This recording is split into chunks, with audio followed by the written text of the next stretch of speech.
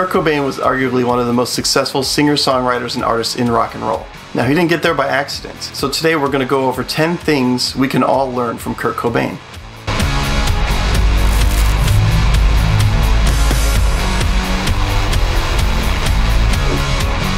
So thanks for sticking around. My name's Dan Bee, and I am a huge Nirvana fan. Today we're going to be talking about 10 things we can learn from Kurt Cobain. And if this is something you like, please go ahead and subscribe to the channel and leave a like as well. This way you're telling me that you like these kind of videos and you would like to see more. And I'm more than happy to make them. But you don't have to enjoy Nirvana's music to get anything out of this today. Because these 10 things we're going to go over can help you be successful not only in music, but in your life as well. So let's check it out. And without any further ado, let's get on with 10 things that we can learn from Kurt Cobain. First up, keep it simple. So if you're at all familiar with Kurt Cobain's music, he kept things very simple, for the most part. What Kurt brought to music was a punk rock accessibility. When I first got into playing guitar, the first song I learned was Come As You Are by Nirvana. And this is simply because it was so simple. I wanted to learn guitar. Come As You Are was a great song. Someone had shown me the tab for it, and I thought, this looks simple enough, I could figure this out. And within that is the power of keeping things simple. Because Kurt kept his songwriting deceptively simple, it translates universally. So there's a lot of power in keeping things simple, especially if you're a musician and you're trying to communicate with others. The more understandable you make something, the more they can relate to it. Isn't that what you want as a musician and a human being? Is them to be able to relate to you? Also, one of the benefits of keeping things simple is it's way easier to master something simple than trying to master something complex. And I think we all want to be masters of our craft, right? Number two, keep a journal. So, keeping a journal is really important. You may or may not know that a book was released of Kurt Cobain's journals. And in the journals were many, many things that he wrote. There's things like song lyrics, there's things like poems, and there's his thoughts, there's unsent letters to people, and there's self reflections.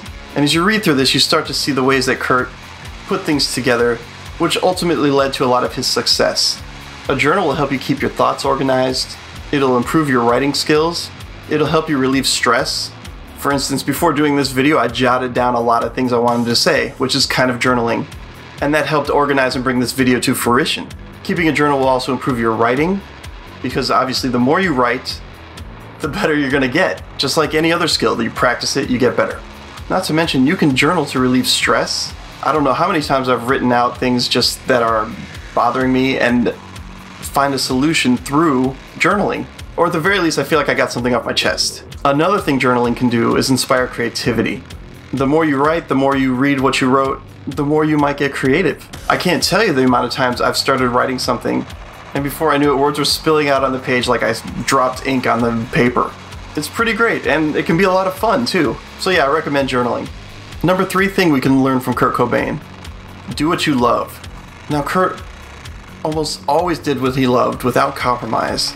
And the times that he did have to compromise, you could tell the man was not happy. But why is it a good idea to do things that we love? Well, one, we get to learn about things that we want to learn about. And sometimes even things that we didn't know we wanted to learn about. How many times have you been on the internet looking up something that you love and it leads you down a rabbit hole and you learn a ton of things that you would never have known? It's amazing and it can do your mind a lot of good. And let's not forget that doing things that we love can bring not only fulfillment but happiness. If you love what you're doing and you can appreciate all the steps that it takes to do it, you're to be fulfilled. It's it's just going to make you happier. And as you get closer to your success in doing the thing that you love, your happiness will increase. And of course, if others see you do this, then you can inspire them as well. And maybe they'll go ahead and do something that makes them happy, the things that they love to do.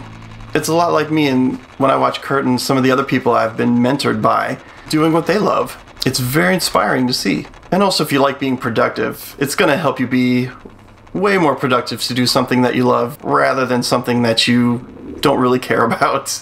Lesson number four be artistic. Now, Kurt Cobain was an extremely artistic individual. It seemed like everything he did just oozed who he was, as well as the message he wanted to get across. And to me, those are perfectly good reasons for anybody to want to be artistic. Art is a form of creative human expression, and it's a way of enriching the human experience. not to mention all the therapeutic attributes it has. Essentially, it's just self expression. I would suggest trying to be more artistic in every way possible. And art doesn't have to just be a painting or a song, it can be in the way you write, it can be in the way you conduct business. Art is in the way that you do things, it's, it's who you are. And essentially, it comes down to being who you are. But we'll get into more of that soon. Number five, set goals. So Kurt Cobain kind of has this slacker image, an image of someone who rarely did anything and just liked to sit around and kind of throw up songs and have them just barely spill out of him. But that's not the case at all. Kurt was a goal setter, and if you read the journals, you can really see how much he set goals. So, why should you set goals? Well, first and foremost, goals give you a direction and a destination to head in. They're going to make you decide and focus on what you really want to get, which will, of course, lead to being more productive.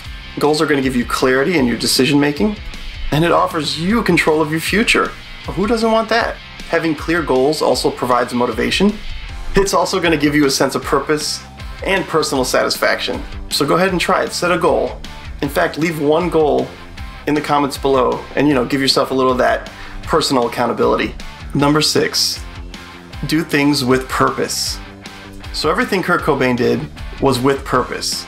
I know sometimes it doesn't seem like it. He's got some far out ideas and some far out lyrics. But really, he did that with purpose. And again, I'm going to cite the journals as proof of this. He was very methodical in the lists he made, which detailed a lot of the meaning behind what he was doing and why he was doing it. And it's something you should look into if you read his journals. The journals really are a mind boggling and mind expanding experience to read through. So, what is purpose anyway? Purpose is the reason something exists. It's an intended end, an aim, or a goal. Purpose creates meaning, it offers a sense of direction, and helps us guide our path, behavior, and goals when applied to our lives.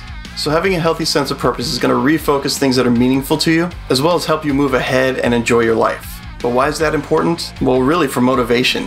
If you have a purpose in life, it gives you motivation to keep going and helps define those goals that you're working on. In fact, it can help you laser focus those goals and narrow them down to get what you truly are looking to get. Number seven, be yourself. One thing that Kurt always put out there was it's okay to be yourself. Now, obviously, there was people Kurt didn't like, but that doesn't mean they shouldn't be themselves, though they could probably be better versions of themselves. Now, was Kurt always an honest, open person about who he was?